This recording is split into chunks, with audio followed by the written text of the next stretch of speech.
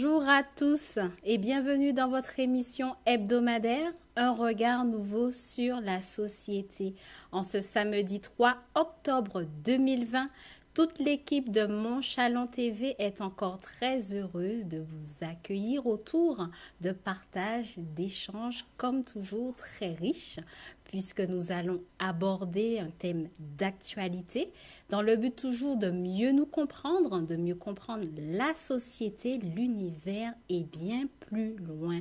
Le temps de vous rappeler que nous sommes en direct grâce à différentes plateformes de streaming YouTube, Facebook, Periscope, Twitch. Et puis nous avons aussi l'opportunité, grâce à Skype, d'avoir des intervenants hors du plateau de Mon Chalon TV.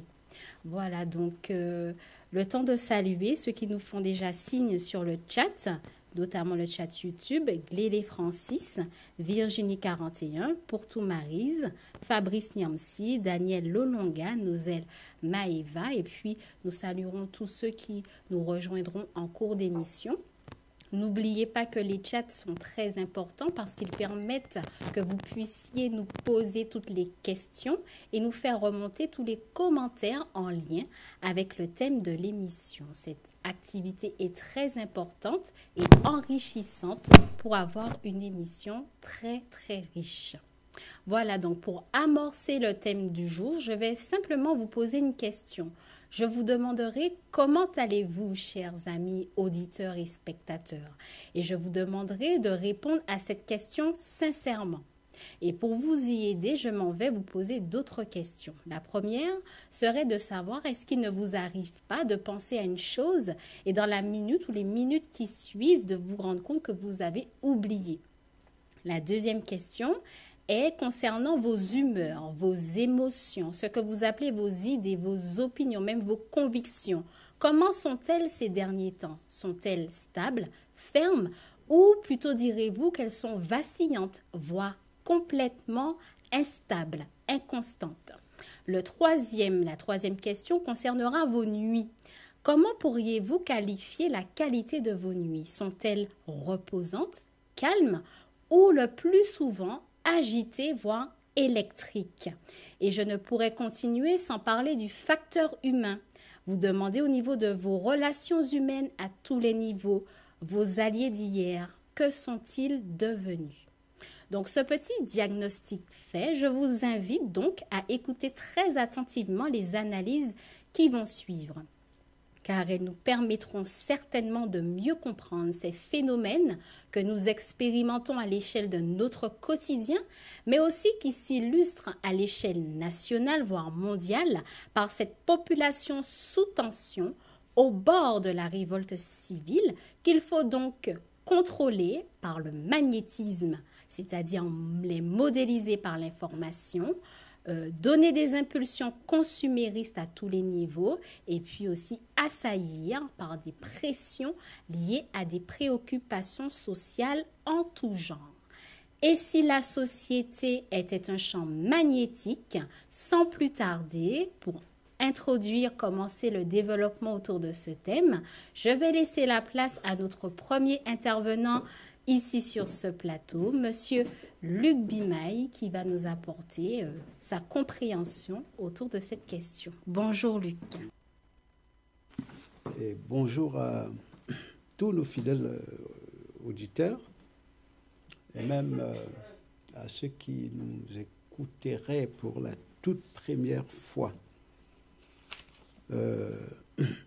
sur ce, cette question, une question, une interrogation, et si la société était un champ magnétique ou une sorte, ça peut être aussi une sorte d'affirmation. La société comme un champ magnétique. Avant de,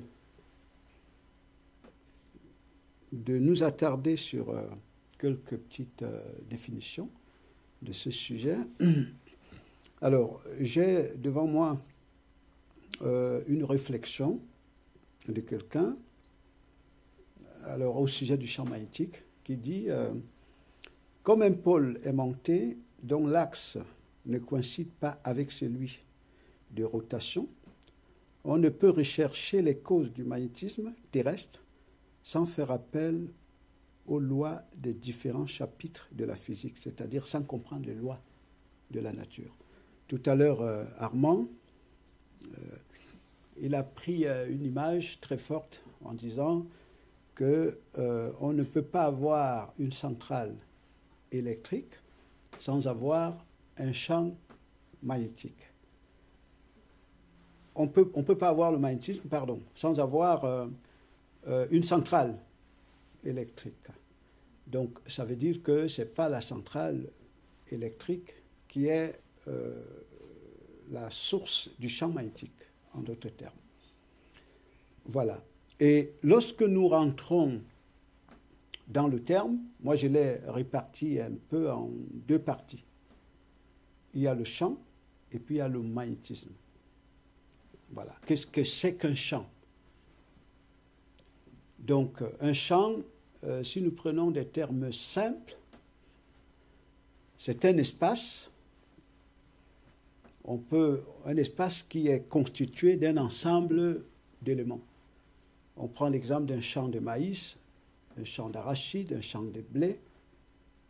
Vous allez avoir un espace euh, dans lequel vous pouvez trouver des, pieds de blé ou des pieds de maïs, des épis de maïs. Et donc, euh, ce champ-là, il va interagir avec son environnement. Et l'environnement qui interagit avec ce champ va représenter une source magnétique avec laquelle le champ va interagir. Et donc cela nous ramène, et qu'est-ce que c'est? Quand on rentre dans ce que c'est que le magnétisme Je vais un peu vous donner, avant de continuer, quelques synonymes pour euh, essayer de comprendre que lorsqu'on parle de ces éléments, ce n'est pas en dehors de ce que chacun, d'abord, représente. Donc, je suis parti des synonymes du magnétisme. Magnétisme ou, excusez-moi un tout petit peu, voilà. Donc, euh, vous avez euh, pour euh, synonyme aimantation ou attraction ou autorité ou déviation ou encore, et très intéressant, ensorcellement ou envoûtement ou encore fascination ou fluide. Bon, et vous pouvez élargir. Prenons par exemple le terme envoûtement ou ensorcellement. C'est-à-dire que ce qui vous attire, ce qui exerce sur vous de l'attirance, plus l'attirance est forte, plus vous devenez comme un robot. Vous devenez comme quelqu'un d'ensorcelé. Donc vous n'avez plus, aucun, vous n'avez plus aucun aucune capacité de raisonnement. Vous êtes sous l'effet, sous la puissance, sous la puissance, vous êtes propulsé. En fait, c'est le champ magnétique qui se propulse. C'est cette force électromagnétique. Donc qui est propulsée. Donc c'est elle qui euh, agit au travers de ce qu'on peut arriver à représenter. Voilà. Et maintenant, alors pour pouvoir euh, le comprendre un peu en détail, comprendre comment est-ce que chacun de nous fonctionne, donc, euh, si vous voyez la manière dont chacun est constitué, nous l'avons plusieurs fois rappelé ici. Donc vous avez un espace social, un environnement social qui lui-même est dépendant de l'environnement universel. Et l'environnement universel représentant un espace de loi, un champ énergétique d'une force inouïe, d'une puissance inouïe. C'est pour ça que certains observateurs plus avertis arrivent à conclure que euh, comme l'environnement social est dépendant de, cette force propulsive que représente la nature ou les lois de la nature, donc c'est cette, cette source-là qui serait Dieu, c'est-à-dire la force déterminant le mouvement de tout. Donc, cette force euh, contre laquelle ou à laquelle rien n'a le pouvoir de résister. Voilà. Et donc, plus on comprend l'environnement, la nature, comment il est constitué, comme un espace de loi, plus il est possible de construire là un édifice dont le mouvement dépend totalement de la vibration qui vient du champ universel. Et donc c'est pour cela qu'il y a certains articles que, Angeline, toi qui euh, faisais l'introduction, tu n'as pas présenté ici, on va établir un lien entre le mouvement de la société. Quand on parle de la société, c'est tous les éléments constituant la société, c'est-à-dire les humains, les maisons, tout ce que nous pouvons voir quand on parle d'un champ. Donc on, on rentre dans un espace qui semble clos. Bon, mais cet espace-là va être constitué des éléments. Donc chacun des éléments va être comme une antenne, comme un capteur qui capte de l'énergie. Donc il va interagir avec la source dont les matériaux sont tirés. Donc je parle là de l'espace universel. Donc de sorte que la vibration de cet espace détermine le mouvement de cet environnement-là, c'est-à-dire ce champ comme le champ social. Et donc c'est ainsi qu'on peut voir le mouvement des astres euh, va, va déterminer de manière euh, beaucoup plus forte et puissante, va déterminer le comportement des individus, le, tempérament des individus, les, attitudes des individus, c'est que les gens pensent au, sein de la société. Donc, lorsque vous prenez un, un individu X comme un être humain, donc, les matériaux à partir desquels il est constitué sont tirés d'un environnement social. Et cet environnement social lui-même, qui représente un champ d'énergie important. Un champ d'énergie important. Donc, qui, envoie les informations, qui envoie les ondes, qui émet de la, de la, de la vibration, qui ces informations que cet environnement-là envoie donc ce sont ces informations qui vont déterminer le comportement de l'individu qu'on va appeler un individu X, c'est-à-dire un être humain. Donc de telle sorte que même ce qui remonte de cet être humain, ce qui remonte de lui comme pensée, comme désir, comme humeur, comme tempérament, c'est pratiquement la vibration émise par cet environnement social. Donc on peut appeler ici euh, société. Donc or, cet environnement social lui-même, vous voyez, cet environnement social lui-même, tel qu'il est organisé, c'est aussi une grosse antenne, et donc qui est dépendant des, informations ou alors des, ondes qui viennent de l'environnement universel. Et c'est sur cette base-là que vous allez avoir un environnement qui fonctionne de telle manière que si vous ne le comprenez pas, ça se passe comme si vous le subissez. Ce matin, j'étais en train de penser à, quelque chose de très important, euh, que même les systèmes totalitaire, ce qu'on appelle les dictatures.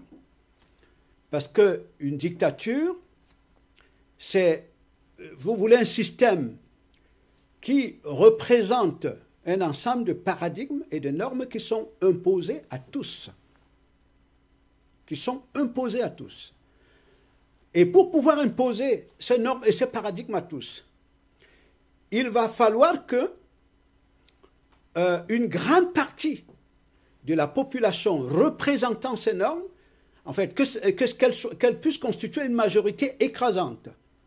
Et cette majorité écrasante que représente euh, cette population va imposer à la minorité, aussi longtemps que cette minorité ne constitue pas, euh, ne, ne, représente pas une manière de voir qui soit supérieure à cette grande majorité. Donc elle va être imposée à tous. Vous voyez, donc pour qu'on arrive à construire un tel système, on comprend que même les dictatures se construisent à partir de la connaissance des lois de la nature. C'est-à-dire que plus on comprend les lois de la nature, plus on est capable de les exploiter pour construire un système social qui s'impose à tous les sujets. Vous voyez? Et ça, c'est vraiment très, très important. Donc, et c'est pour cela que l'environnement social, l'État par exemple, l'organisation va veiller à ce que les normes qui sont établies, les normes qui sont, les normes et les paradigmes, n'est-ce pas, que représente un environnement, soient imposés à tous.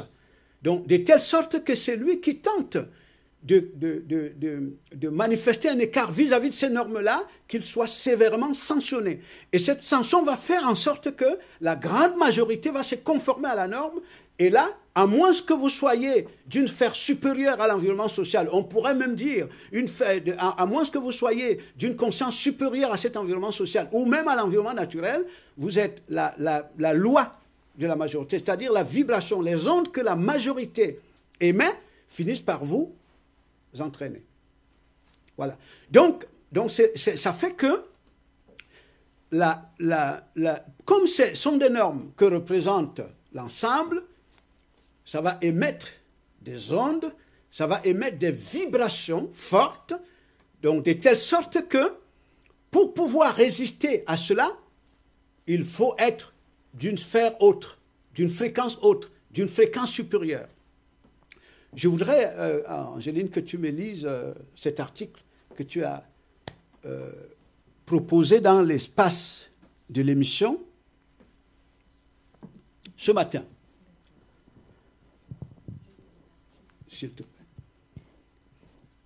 Donc, en attendant que peut-être le lien puisse apparaître à nos auditeurs, donc tout être humain possède un taux vibratoire définissant la fréquence d'énergie correspondante à son degré d'évolution spirituelle.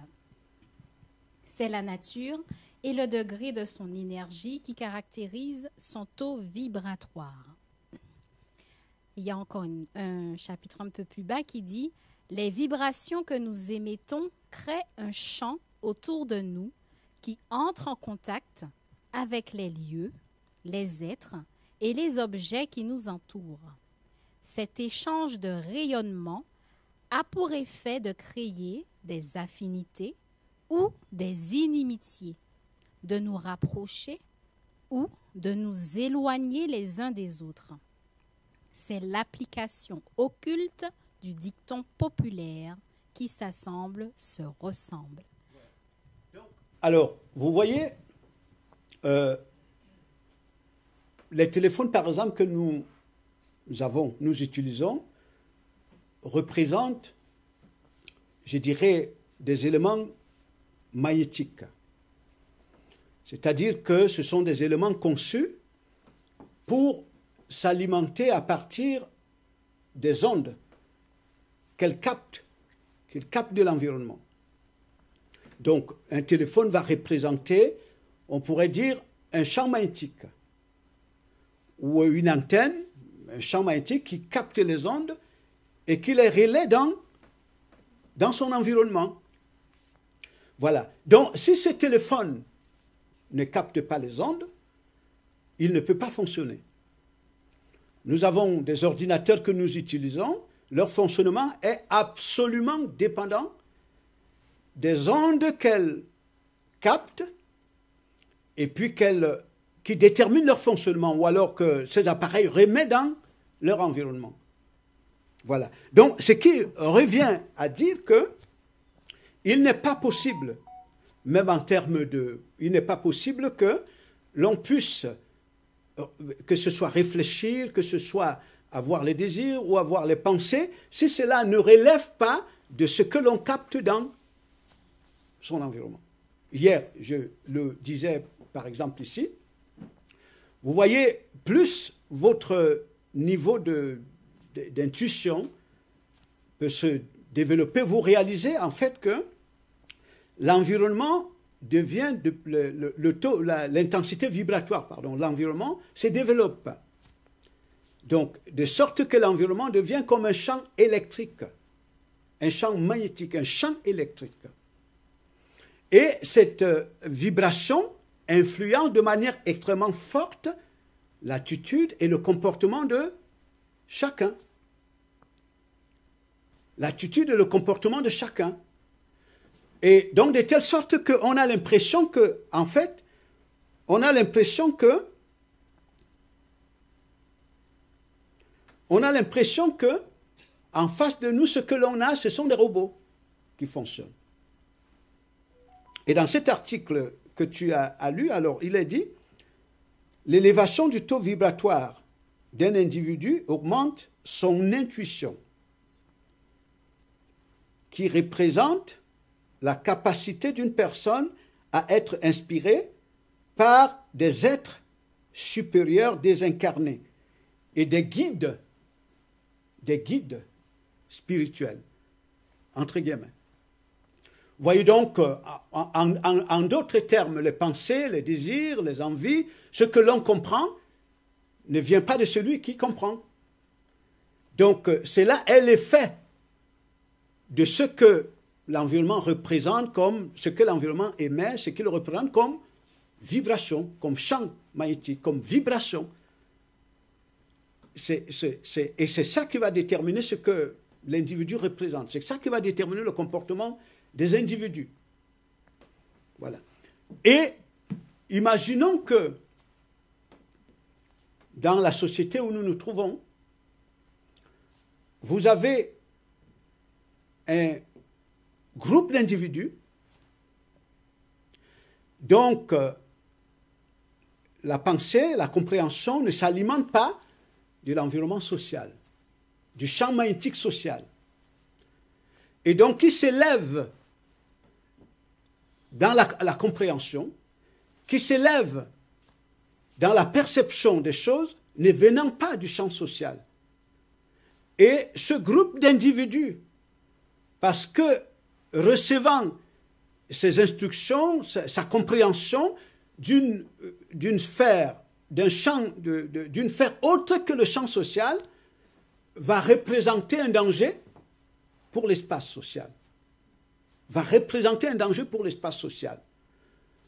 Parce que, en fait, lorsque vous avez euh, ce qui protège là la, société justement, c'est le fait que la majorité constitue une force vibratoire, un champ magnétique important, donc qui étouffe tous ceux qui essayent de se penser en dehors de ce champ, de ce champ social. Donc c'est ça qui protège la société. Et ça fait qu'il faut faire augmenter l'intensité vibratoire de la société. Donc de telle manière qu'il n'y ait pas possibilité qu'il émerge une autre source de pensée, une autre source de compréhension en dehors de cet espace-là. Cela va être perçu par certains comme une sorte de bouclier, comme une sorte de bouclier. Donc un bouclier qui protège cet espace social.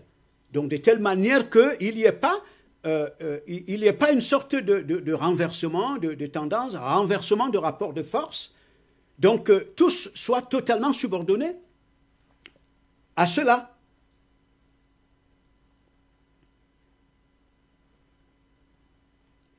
Excusez-moi. Oui, oui, s'il te plaît. Hum, hum. dans le, je crois que c'est le troisième paragraphe. Hein. D'accord. Donc nous continuons l'article.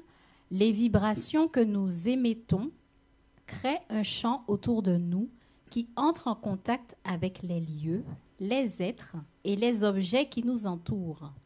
Cet échange de rayonnement a pour effet de créer des affinités ou des inimitiés, de nous rapprocher ou de nous éloigner les uns des autres c'est l'application occulte du dicton populaire qui s'assemble se ressemble.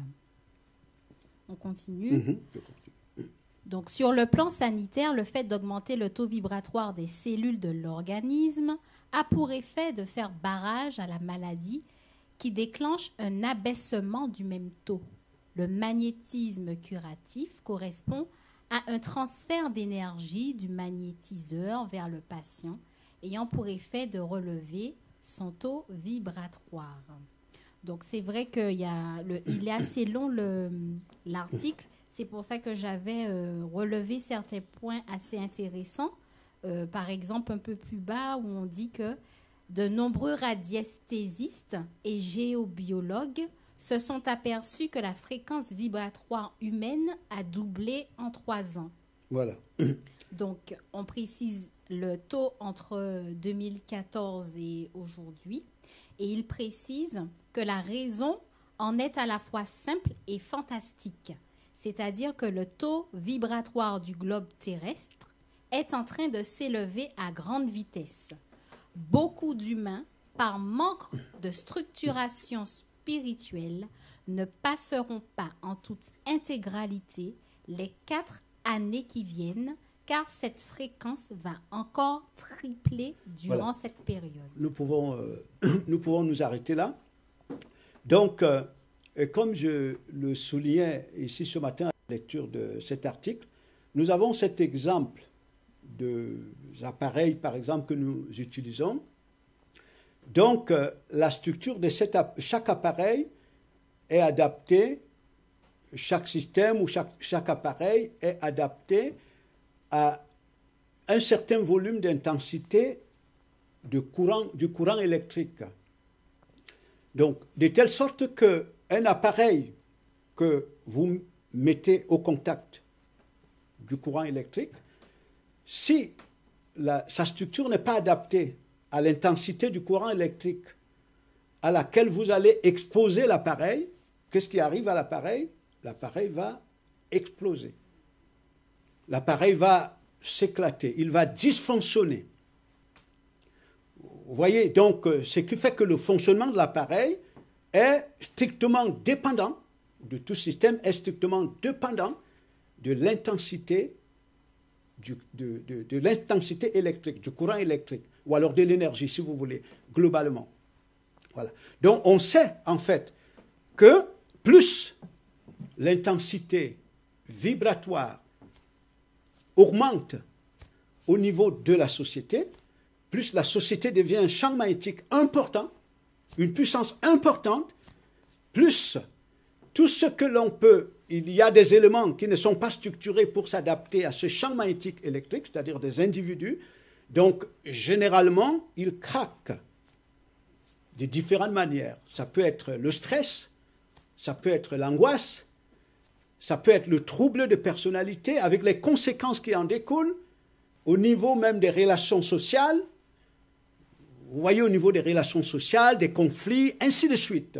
Ce sont des indicateurs qui montrent clairement que l'intensité vibratoire, l'augmentation de l'intensité vibratoire, donc du champ magnétique euh, social, qui lui-même est dépendant, comme je le disais, du champ magnétique universel, donc occasionne ces effets. Bon, mais moi, ce qui m'intéresse, qu'est-ce qui est derrière cet objectif-là? Parce que vous avez un ordre la société, c'est un ordre social. Et cet ordre social se protège. C'est-à-dire qu'en son sein, qu'il ne s'élève pas un autre champ vibratoire, un autre peuple qui se, pensant en dehors de, cet, cet environnement-là, en dehors de ces systèmes-là, en dehors de ces normes-là, est capable de pouvoir s'élever pour pouvoir étendre dans, dans cet espace-là des ondes qui soient supérieures à celles que dégage cet environnement-là. Et pour cela, la société doit, les architectes sociaux doivent augmenter le, champ vibratoire de l'environnement social. C'est une exigence, en, en d'autres termes, de sécurité. C'est une exigence, on peut dire même aussi de pérennité de ce modèle-là pour qu'il ne risque pas d'être, euh, on pourrait dire, bouleversé, d'être renversé. Voilà. Parce que on nous dit dans les mathématiques sociales, par exemple, on dit que euh, le nombre, par exemple, que quand tu mets 10 personnes ou 100 personnes, ou même un million de personnes, en face d'une personne, ce sont les 1 million qui vont remporter sur la personne. Voilà, c'est-à-dire, on parle là de la loi du nombre, de la loi de la majorité. Mais imaginez que, en face de la personne dont vous parlez, dont je parle, pardon, en face de cette personne, euh, donc il y a un million de personnes, et cette personne puisse représenter un volume d'énergie, un niveau de conscience bien plus élevé que le 1 million ou les 100. Qu'est-ce qui se passe en ce moment-là? Ce n'est pas le nombre qui remporte. Donc, ce n'est pas le nombre en réalité qui vaut. Ce qui vaut ici, dans le nombre, il y a un volume d'énergie.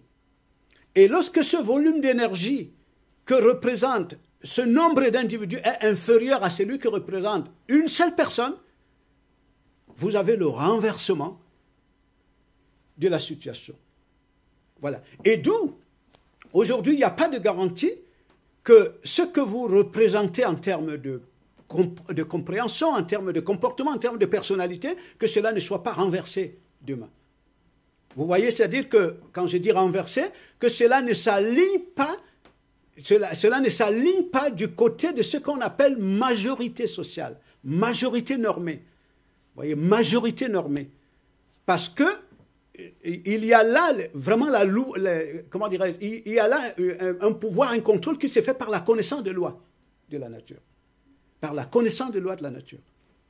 Parce que remarquez que dans l'espace social où nous sommes, lorsqu'il arrive que émerge une manière de penser ou de voir qui ne vienne pas de la société, c'est-à-dire qui ne, soit, qui ne s'inspire pas des normes sociales, des paradigmes sociaux qui s'imposent à tous, et que cette manière de penser même si elle s'exprime au travers d'un seul individu et qu'elle arrive à s'élever pour prendre l'ampleur, la société, les gardiens de la société vont l'appeler la dictature.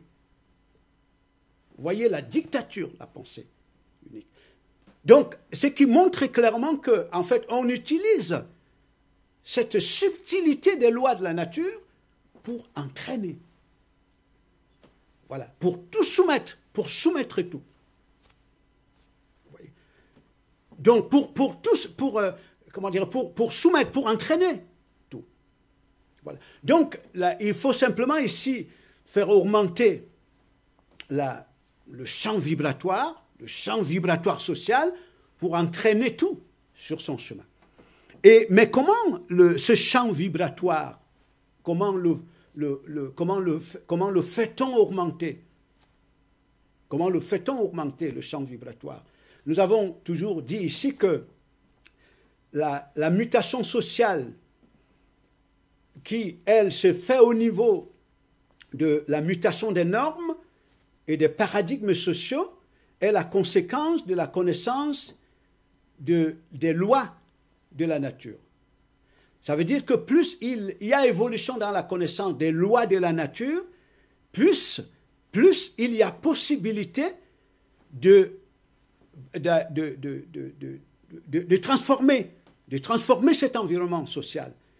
Donc, on peut, on, peut, on peut voir ces transformations s'opérer, par exemple, à travers ce que euh, les non-initiés appelleraient les, les, inventions, les, les, nouvelles inventions, ainsi de suite, parce que ces nouvelles inventions, ces nouveaux éléments qu'on observe comme des inventions, même ce que nous pouvons observer comme des, des, des êtres humains, parce que les êtres humains que nous voyons aujourd'hui ne sont pas des êtres humains, qu'on observait il y a, ne serait-ce qu'il y a 20 ans, ne serait-ce qu'il y a 30 ans, ne serait-ce qu'il y a 50 ans. Voilà. Mais, et puis ces êtres humains, qu'est-ce qui se passe? C'est qu'en réalité, ils, ils, sont plus ouverts aux ondes, aux ondes astrales. Ils, sont plus en, harmonie avec la sphère astrale que les êtres humains qu'il y a 50 ans. Donc, cette, euh, cette euh, comment dirais cette cette ouverture globale à cet espace, à cet espace-là fait en sorte qu'il y a là une force vibratoire qui augmente sur la Terre. Donc de telle manière que, au milieu d'un monde pareil, il faut vraiment que, pour ne pas être entraîné par cela, il faut que la perception de soi ne vienne pas de cet environnement social. Alors, je, termine simplement par euh, par un témoignage en espérant que euh, vous avez compris ce que j'ai voulu exprimer. Alors ce témoignage, c'est que lorsque vous restez attentif, lorsque vous restez très attentif, vous verrez que euh, que ce soit les humeurs, que ce soit les pensées, que ce soit ce que vous pouvez voir ou ressentir, en réalité ne viennent pas de vous. Voilà, ne viennent pas de vous. Et de sorte que une forte exposition à la résonance environnementale, à ce champ magnétique, une forte exposition à ce, à, champ magnétique, en fait, finit à, avoir une, opère une transformation sur vous. Donc, une image que je, je donnais ici hier, que vous prenez par exemple une marmite, vous la mettez sur le feu. C'est-à-dire que là-dedans, vous avez les aliments dans la marmite. Donc, plus cette marmite est exposée au feu, plus ce que le feu représente comme onde transforme les aliments. Et même, je pourrais dire que transforme même euh, euh, la, marmite, c'est-à-dire que la, puissance du feu, le feu qui euh, normalement c'est une énergie, va être transposée dans la marmite. Va être transposée dans la marmite. Et, c'est de cette manière-là que, puisque c'est le champ magnétique qui est, c'est lui qui s'exprime, donc aussi longtemps qu'il y a cette exposition dans ces ondes qui viennent de l'environnement, ce que vous êtes, ce sont ces ondes-là. Alors je donnais un exemple que prenez l'exemple que vous avez des pensées d'animosité vis-à-vis de quelqu'un, des pensées de haine vis-à-vis -vis de quelqu'un.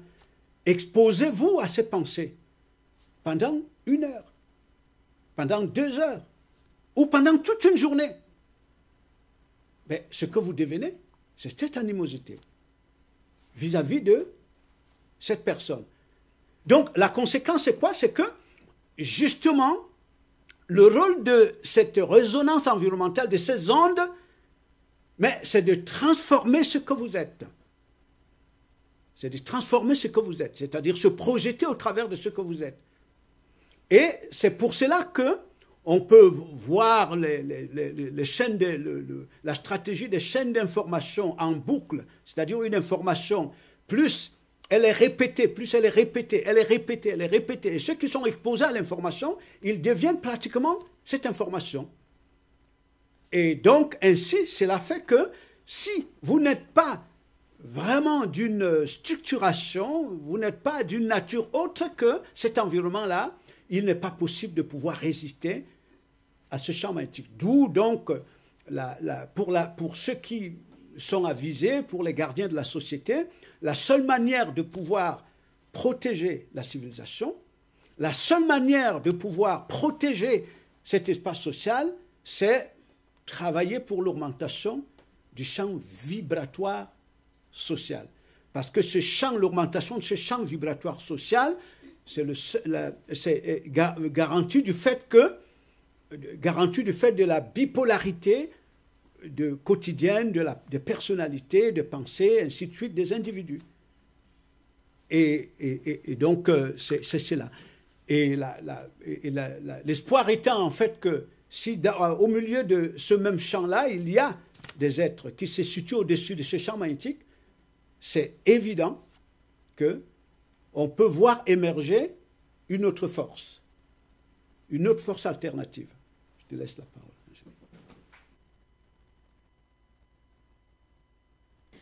Merci beaucoup Luc et puis notamment pour euh, cette conclusion, hein, cette chute, avec cet espoir hein, d'émergence d'une compréhension, d'une énergie supérieure à ce champ vibratoire. Juste avant de laisser la place à notre deuxième intervenant, le temps de pouvoir lire encore quelques éléments très intéressants, euh, donc euh, des articles effectivement qu'a cité Luc. Euh, qui permettront de bien illustrer euh, ce qu'il nous a dit. Donc, il était aussi stipulé que le taux vibratoire donc, correspond à une intensité énergétique, ce qui correspond à un échange d'électricité magnétique entre les divers éléments existants. Nous sommes composés d'énergie densifiée et nous vivons dans un bain d'énergie éthérée. Il y a interaction permanente entre ces différentes qualités de vibration et de clôturer dans l'univers et sur cette planète, rien n'est neutre et immobile. Tout agit sur tout. Tout vibre et ondule en permanence. Tout est solidaire. l'individualisme énergétique n'existe pas. C'est la raison pour laquelle toute action de notre part, quelle que soit sa forme, agit sur ce qui nous entoure et le modifie. Donc c'est pour ça effectivement que euh, Luc nous permettait effectivement de comprendre que si certains sont ignorants de ces lois, d'autres en sont bien conscients et savent les exploiter bon escient. Et puis donc il y avait donc un deuxième article que je vais essayer moi-même de retrouver rapidement, donc qui permettait d'illustrer euh, un phénomène qu'il faudra essayer d'analyser de, dans notre quotidien puisqu'il semblerait que ce mois d'octobre sera encadré, est encadré de deux pleines lunes. Donc vous savez que la lune émet ce qu'on appelle des ondes magnétiques, des ondes vibratoires et comme euh, a été stipulé, ces, ondes ont effet donc sur ceux qui sont issus des mêmes matériaux. Et donc il est stipulé dans cet euh, article euh, voilà l'impact qu'aura ces, ces pleines lunes sur les individus. Donc, euh, si j'arrive à retrouver, voilà, on indique que les, de, cette, de ces lunes seront le ruminement, les réflexions, les interrogations, toutes les particularités inhérentes à une lune pleine seront exacerbées grâce à l'influence de ce signe de feu. Donc ça, il s'agit de la, pleine lune qui a, eu, qui, aurait, qui a eu lieu le premier. Et puis celle du 31 octobre, on précise, elle sera sous le signe du taureau, doublé de soleil scorpion, et au programme, entêtement, passion dévorante, doublé de, de passion dévorante, pardon, et détermination inutile seront de la partie. Voilà. Donc, c'est pour montrer effectivement la capacité de pouvoir utiliser, appliquer ces lois pour entraîner et euh, prédire le comportement donc des populations qui sont intriquement liées à ce champ magnétique, qui sont l'expression de ce champ magnétique, et toujours les exploiter à l'avantage d'une organisation sociale qui a, dont certains sont les bénéficiaires. Donc sans plus tarder, nous laissons la parole à Franck. Franck qui est du côté donc de Kozoa. Merci Franck de pouvoir nous apporter aussi des éléments d'analyse concernant ce thème, le champ magnétique social. Bonjour Franck. Oui, bonjour euh, Angéline. Bonjour également à tous ceux qui nous écouteront. Bon, merci déjà Audrey pour euh, son exposé est intéressant dans la mesure où ça nous renvoie toujours à qui sommes-nous. Pourquoi? Parce que dans le fond, pendant que moi je réfléchissais sur le sujet, je réalisais que quand on parle de la société comme champ magnétique ou alors du magnétisme, si l'on ne le perçoit pas, c'est-à-dire à partir d'une fréquence très avancée, on aura justement l'impression qu'on parle des éléments qui sont extérieurs à ce que l'on est. Ou alors que quand on parle du magnétisme, comme euh, quand nous étions petits, nous prenons le temps de nous amuser avec des aimants et des feuilles autres. Et peut-être le magnétisme ne se limite peut-être aux appareils électroménagers, ainsi de suite. Mais pourtant, dans le fond, quand on parle du magnétisme, ça touche réellement à ce que le sujet humain peut représenter, c'est-à-dire en termes de compréhension dans des personnalités. Et déjà, je voudrais souligner ici que le magnétisme même, dans le fond, il est même le déterministe de l'existence de la sphère sociale. Je parle ici de la société dans sa dimension institutionnelle. Parce que, voyez-vous dans la définition qu'il a prise, on avait notre définition, mais que je vais parler, il y a eu deux éléments qui sont ressortis quand il parlait, il de synonyme. Il parlait de l'attraction et un autre synonyme aussi, justement lié à cette définition, on parlait de repulsion. Attraction, repulsion. Or, on sait très bien que le quotidien, justement, de l'humain, dans le fond, n'est déterminé que par ces phénomène d'attraction et de repulsion. C'est-à-dire que on est attiré par ce qui semble justement alimenter l'idée que l'on a de soi et on est repulsant, répulsif vis-à-vis des éléments qui semblent ne pas alimenter l'idée qu'on peut se faire de soi. Donc, percevant justement les choses dans cette dimension, ça nous amène simplement à réaliser avec beaucoup plus de clarté que l'être humain, c'est une entité magnétique. C'est une entité magnétique. Parce que c'est une entité qui est attirée et qui aussi peut être attirée. Et, quand je parlais donc, euh, que la, je disais tout à l'heure que la société et le magnétisme même le déterminant de son existence, c'est parce que vous savez très bien que qui fait la société, c'est la famille, puisque la famille, dans le fond, étant définie comme la cellule de base de la nation ou alors de la société. Or, pour qu'il y ait famille, il faut bien justement qu'il y ait croisement entre une entité mâle et une entité femelle.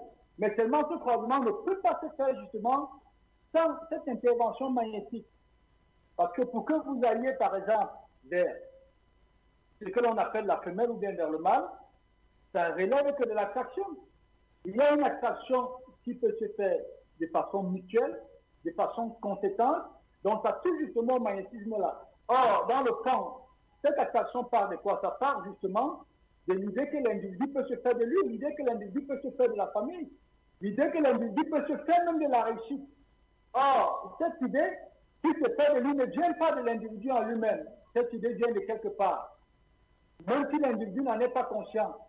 Et justement, c'est cette racine-là, en fait, qui constitue, on peut dire même la source magnétique, qui va se charger justement de construire la personnalité de cet individu en fonction de l'objectif que lui, il veut atteindre. Ça, c'est le premier élément. Et justement, le deuxième élément, quand vous prenez par exemple un individu qui est totalement coupé de la sphère sociale, je parle de la dimension organisationnelle, quelqu'un qui est renfermé par exemple dans les brousses, et vous prenez un autre qui justement est, on peut dire, la fonction ou bien le prolongement de la sphère sociale, vous, allez voir que les individus ne sont pas tous attirés par les mêmes éléments. Ils ne sont pas attirés par les mêmes éléments.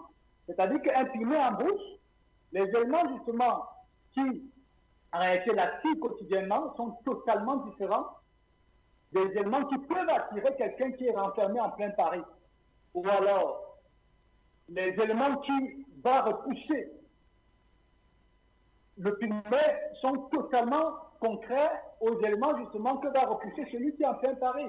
Pourquoi? Tout simplement parce que c'est l'environnement d'appartenance de chacun qui constitue sa personnalité, qui constitue ses désirs, qui constitue ses envies, l'environnement d'appartenance de chacun. Et justement, quand on revient au niveau de la société, au niveau institutionnel, on peut donc bien comprendre pourquoi est-ce que le sujet humain ne peut pas se penser en dehors de la société. C'est impossible. C'est-à-dire comme un poisson dont les désirs qu'il a ne peuvent pas aller au-delà justement de son environnement d'appartenance. il y a cette dimension euh, magnétique. C'est pourquoi justement, comme je disais, dans lequel on peut répondre à la question avec l'affirmation de la société, justement, c'est un champ magnétique. C'est un champ magnétique. Donc, tous les désirs de l'individu, tous ses envies, tous ses projets, justement, ne tournent que tout autour de ce champ. Donc, de cet environnement, dans le fond, qui a conçu euh, son identité dont il est la, dont il est la, il est la, projection. Et maintenant, parlons donc de la mutation de la conscience. On peut même voir qu'au niveau donc institutionnel, nous, à notre époque, moi par exemple au niveau intérieur qui n'a pas un âge très avancé, je me rappelle qu'il y a de cela 20 ans, les éléments qui autrefois pouvaient constituer faire émerger de nous des désirs qui pouvaient nous attirer. Mais aujourd'hui, dans le fond, quand on revient 20 ans plus tard, ce ne sont plus les mêmes éléments. Mais qu'est-ce qui explique ça? Ça explique justement la mutation justement de cette conscience. Et aussi, toute cette conscience la mutation de cette conscience, justement, est aussi déterminée par le modèle éducatif, c'est-à-dire par les politiques éducatives qui, dans le fond, façonnent ou alors transforment justement ce que l'individu peut représenter en termes de regard.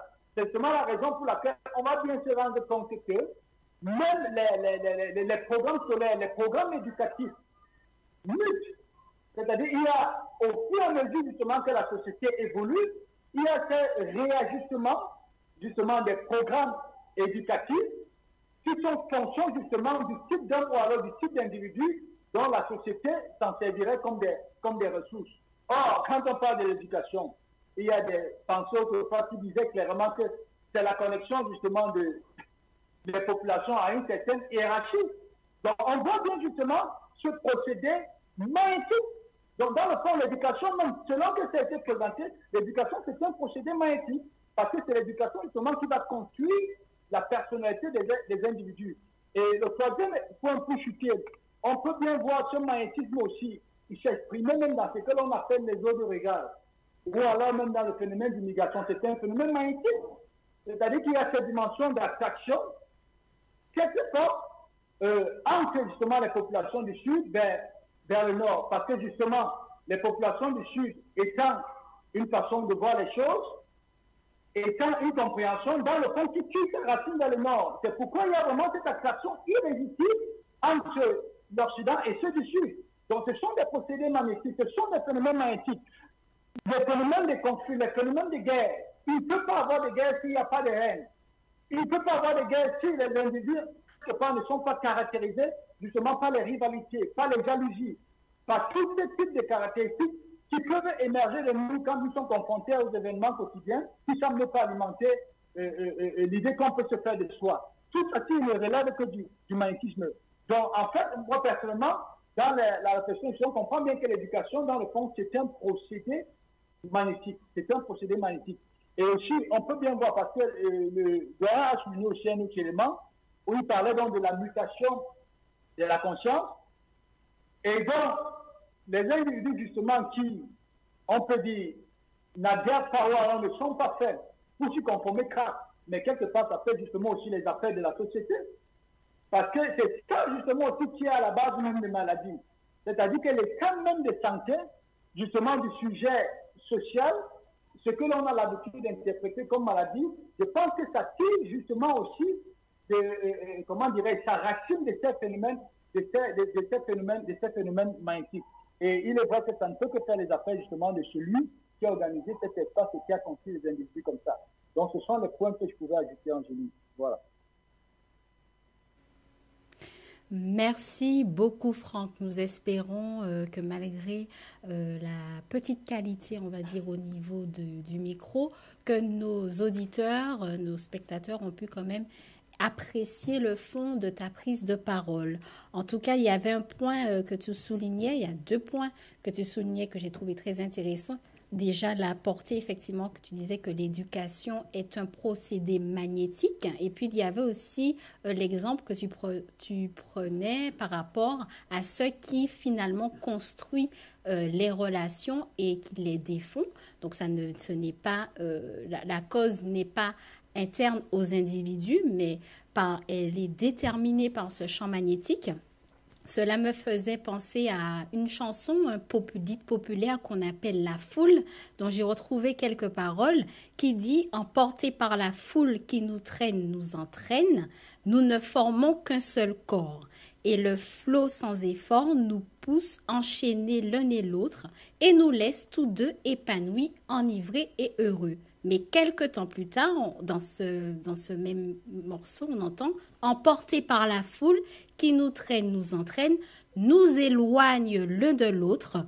Je lutte et je me débat, mais le son de ma voix s'étouffe dans les rires des autres. Et je crie de douleur, de fureur et de rage, et je pleure. Je crispe mes poings, maudissant la foule qui me vole, l'homme qu'elle m'avait donné, que je n'ai jamais retrouvé. Donc à travers effectivement ce regard sociologique très intéressant derrière la foule, donc on voit bien ce champ magnétique donc dont euh, les individus, les interactions sont tout simplement la résultante. Malheureusement, la plupart sont simplement des font simplement le constat de ces lois qui pourtant, si elles sont comprises, permettent un réel épanouissement. Donc merci à nos deux intervenants. Voici maintenant le temps de faire un tour du côté des différents chats pour pouvoir voir euh, vos questions et vos commentaires.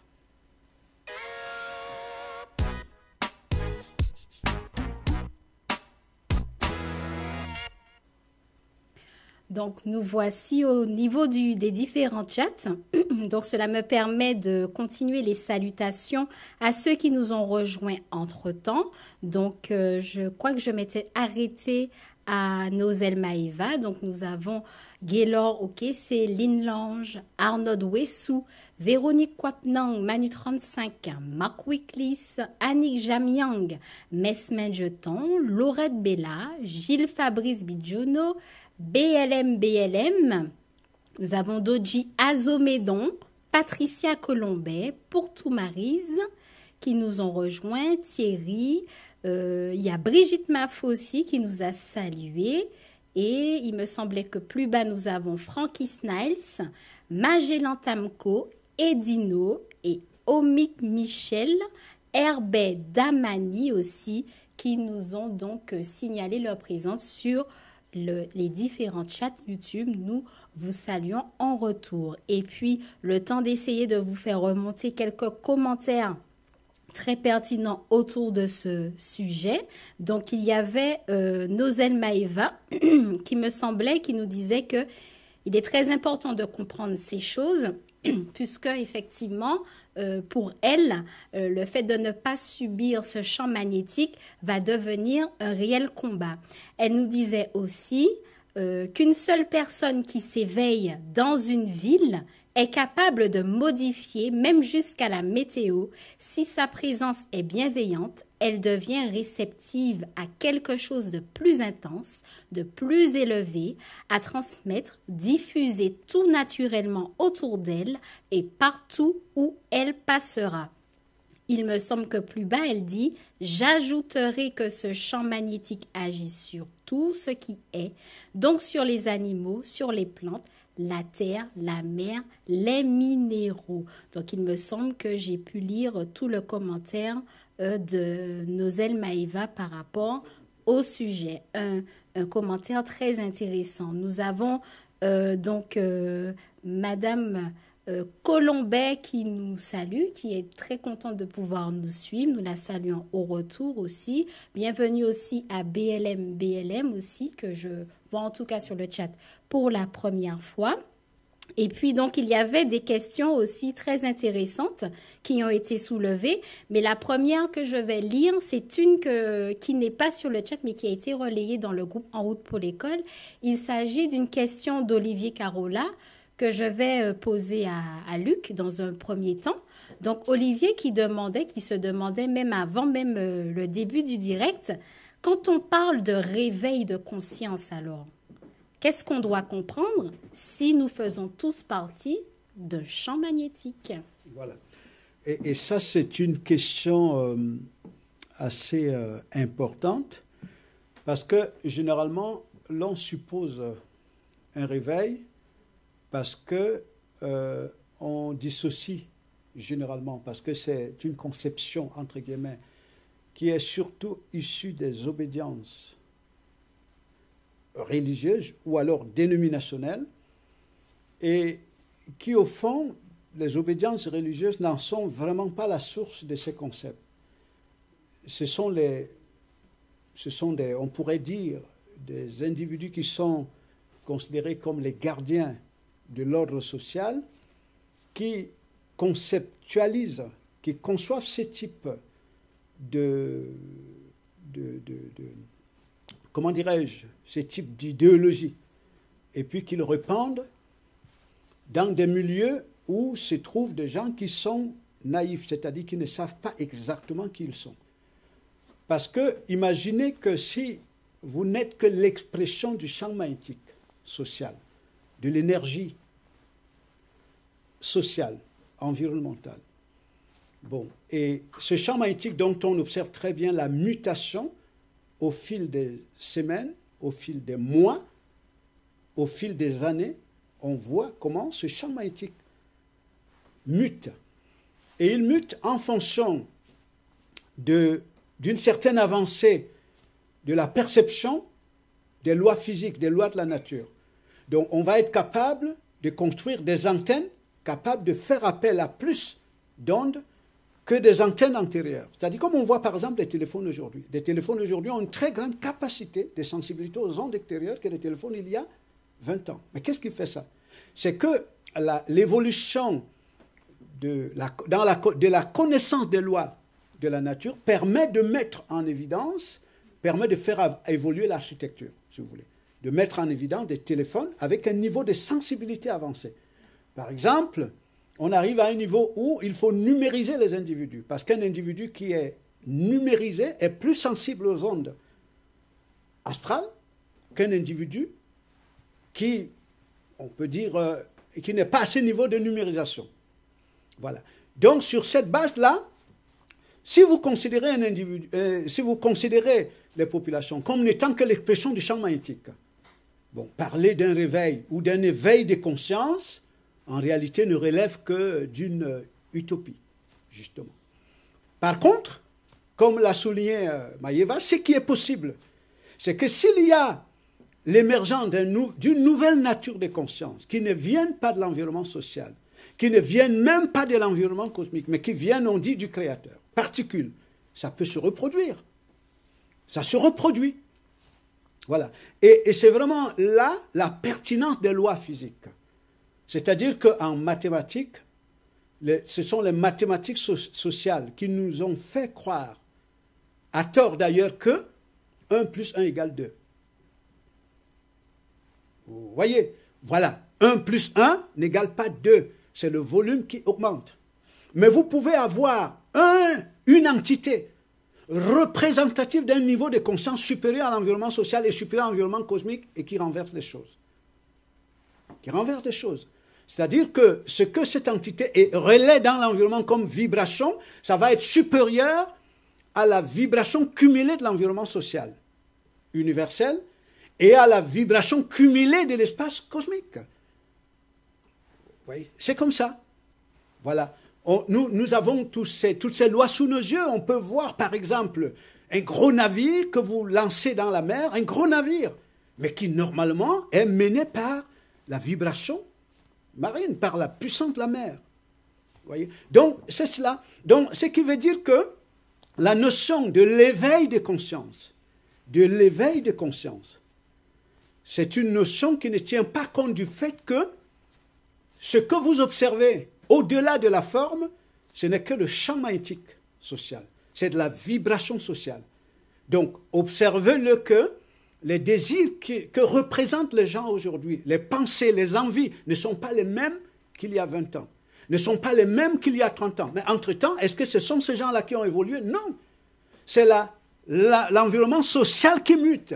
Et comme c'est l'environnement social qui s'exprime, ben c'est lui qu'on va voir apparaître au travers de Jean, André, X, Y. Et donc, euh, par, rapport à la question de, de Olivier, c'est ce que je peux donner comme réponse. Je ne sais pas s'il y a d'autres questions. Merci, merci beaucoup Luc. Très intéressant par rapport au fait que tu soulignais que ce ne sont même pas des termes euh, qui naissent avec les, les obédiences religieuses. Pour ceux qui ont écouté le, le, discours de M. Macron euh, hier sur euh, la lutte contre les radicalisations, le séparatisme. Merci, les séparatismes. il précisait que sont, il est pour un réveil de du de, de, la pensée républicaine, si j'ai bien compris, un réveil de la République. Donc effectivement, ce sont des termes, mais quand on, il décline le fond qu'il a de ce réveil, c'est effectivement l'élargissement de la compréhension de ces lois, hein, finalement, euh, sur le magnétisme, pour vraiment mettre en place des, des, des, des, mesures de plus en plus strictes, efficaces, qui permettent le contrôle finalement des populations. Donc, il y avait euh, ce point.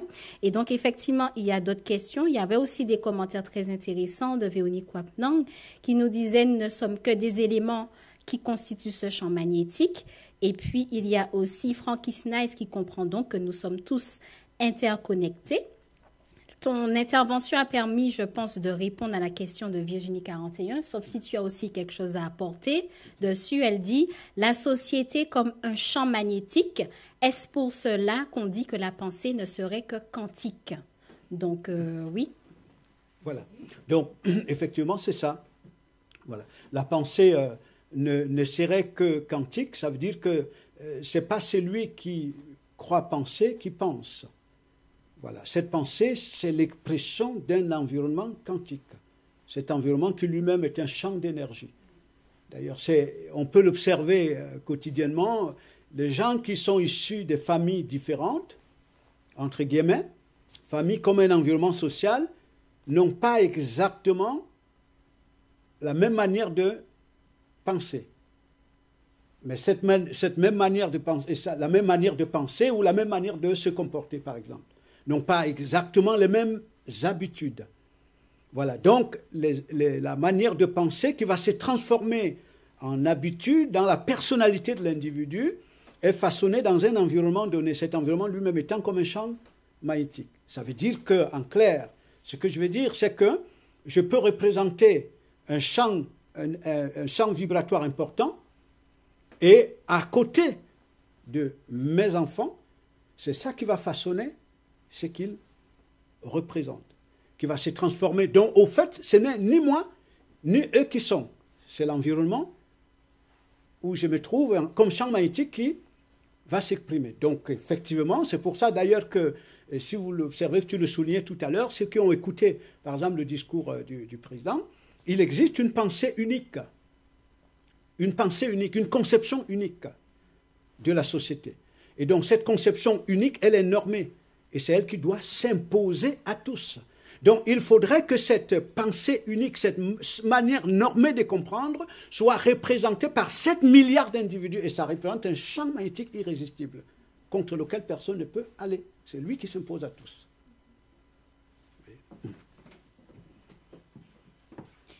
Merci beaucoup. Il reste encore deux questions que je pourrais t'adresser. Donc, il y a Brigitte Maffo qui se questionne. Elle se demande est-ce que la fréquence d'une personne morale peut se faire ressentir sans communication? Je pense qu'elle veut dire euh, sans intermédiaire, sans outil intermédiaire de communication. Oui, bon, quand on dit personne morale, donc en faisant la différence avec euh, la représentation, la personne morale, ça représente un certain niveau de, conscience qui lui-même est tiré d'un environnement social. Donc, euh, cette personne va être la représentation de la société à une certaine dimension. Donc, plus ce niveau de représentation est élevé, plus on peut émettre, communiquer ces ondes sans utiliser les mots. Sans utiliser les mots. Bon, maintenant, tout dépend de la dimension de sensibilité dont vous faites l'objet pour ressentir les ondes que l'autre émet, c'est-à-dire les pensées que caractérisent l'autre, les ondes qu'il émet. C'est pour ça que dans le, même environnement, certains parlaient des ondes négatives et des ondes positives. Ça veut dire que quelqu'un peut être euh, habité d'une amertume très forte contre vous, il ne l'exprime pas par les mots, mais vous pouvez le ressentir. C'est-à-dire que vous pouvez le ressentir en étant à un mètre de lui ou en étant à mille mètres, ou en étant à 10 000 mètres. Vous pouvez ressentir les ondes, mais tout va dépendre de ce que l'individu représente vraiment comme représentation d'une fréquence, euh, de, la fréquence vibratoire, c'est-à-dire l'environnement euh, énergétique, si vous voulez. Et puis nous avons donc euh, la dernière question. Hein. Je ne sais pas si entre-temps il y en a eu d'autres. Non. Donc la dernière question que je vais lire, euh, donc, qui est de Monsieur Omik Michel, qui nous dit bonjour. Peut-on être de la sphère du Créateur et ressentir les effets vibratoires de la sphère cosmique? Lorsque ces effets sont émis par l'environnement dont on est en relation, les ressentons là, ça me, ramène à ce que notre euh, ami Armand disait euh, euh, à l'écart de cette émission lorsque nous étions sur Skype. Vous voyez, donc, lorsque vous avez une centrale électrique quelque part, la centrale électrique souvent est considérée comme une source d'énergie, mais ce n'est pas la centrale qui est vraiment la source d'énergie. La centrale elle-même est dépendante d'une source euh, primaire quelque part, d'une source primaire, et puis euh, elle, elle, capte les, les, ondes qui viennent de la source primaire et elle les relaie. Voilà. Donc, quand on voit la manière dont euh, l'univers est constitué, l'univers lui-même, c'est un réceptacle, c'est une grosse antenne. Donc, il capte les ondes et il les relaie. Et il les relaie aux sous-antennes, aux, antennes, aux sous-antennes dépendant de l'univers. Maintenant, ces ondes-là, cette vibration vient d'où? C'est là que se pose la question du Créateur, en réalité. Voilà. Donc, euh, d'ailleurs, c'est de cette manière-là que l'édifice social est constitué, parce que le, système social universel, c'est une grosse antenne. Donc, qui capte les ondes venant de la sphère cosmique, que certains considèrent comme Dieu. Voilà. Et puis, ceux qui comprennent très bien comment cette architecture est élaborée, ils savent que tu ne peux pas résister à la puissance énergétique de l'environnement social parce que ce n'est pas cet environnement qui s'exprime, cet environnement relayerait simplement les ondes qui viendraient de Dieu, considérées comme l'univers, comme la nature. Vous voyez donc qu'un disait que euh, le nouvel ordre mondial, personne n'y résistera. Tout le monde va y aller. Personne n'y résistera. Mais il ne compte pas sur lui quand il le dit. Il compte sur ce qu'il appelle ici la source d'énergie primaire. Et donc, l'évolution scientifique a permis de construire un système qui relaie de manière rapide, puissante, ces ondes-là, dans les veines. C'est-à-dire les veines, les, uns et les autres, vous ne représentez que des veines. Donc le sang qui circule, quand ça vient de la centrale qui est le cœur, ça circule dans les veines, aucun membre ne peut résister lorsque le sang est envoyé par le cœur. Donc, est-ce que maintenant, quelqu'un qui est euh, une architecture qui vient du Créateur, normalement, lui, si c'est le Créateur qui donc détermine, qui est le, principe propulseur des ondes, déterminant le fonctionnement de l'univers et de l'environnement social. Donc, cette, cette personne-là, cet individu-là, lui, il communique avec la source. La source qui est à l'origine des saisons. Donc, c'est ça la communication. Et c'est là où on arrive justement à un niveau de. On arrive à, à l'harmonie. À l'harmonie avec le mouvement, que ce soit le mouvement de la société, que le mouvement de l'univers, parce qu'on considère tout comme le langage qui vient du Créateur et c'est ça qui constitue la clé de l'épanouissement de cet individu-là. Parce que considérant tout comme le langage de son Père, puisqu'il comprend le langage de Dieu, mais tout participe à son élévation. Donc il s'élève en conscience, il s'élève en intelligence, il s'élève en sagesse. Et dans cette élévation en sagesse, normalement, finit, finit par faire une construction qui a ascendance sur, les lois de l'univers, sur les lois de la nature, sur la, sur la vibration sociale. Donc la, finalité, c'est quoi ici? C'est que cet individu, ses caractéristiques, sa personnalité n'est pas déterminée par la vibration sociale, ni ses pensées, ni ses désirs, ni ses envies, ni ce qu'il voit, ni ses humeurs ne sont pas déterminées par le champ magnétique social, parce qu'il comprend le langage de son Père. C'est là que se pose justement la question de Dieu. Est-ce que le Créateur existe-t-il? Ou alors, c'est la nature qui est le principe primaire d'émission d'ondes.